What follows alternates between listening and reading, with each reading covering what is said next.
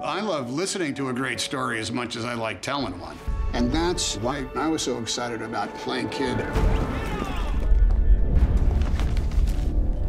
He is a storyteller. He is driven, emotional. He is noble.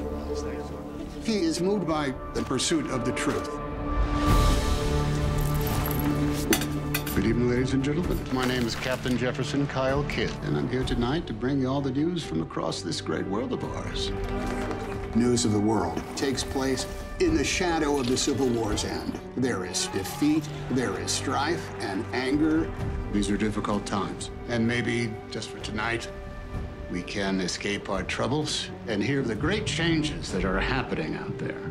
Because of the war, Kidd came back to having nothing left reading the news gave him a purpose. He got up, he collected the stories, he delivered a reading, and then he moved on to the next town.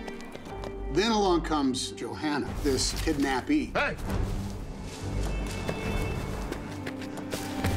I'm not gonna hurt you! Friend, can't stay out here. Give me your hand.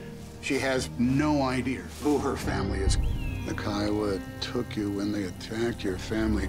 Her mother, father, and sister were, well, they passed. Burdened by his own decency. Kidd is going to have to return her to a family, and this coming from a man who has lost any semblance of what a family is. But there's a horse.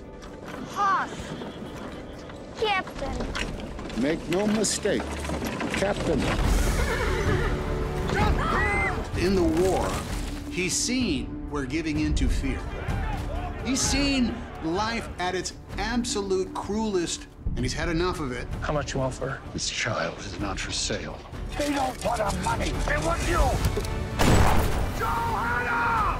Where are you? Kidd goes through something that saves him as much as he saved Johanna. Captain.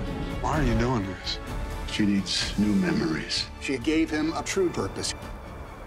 His real message is when you have love in your life, it will be all right. That's what all great stories are. It's just pure love for another human being. She's one of us now!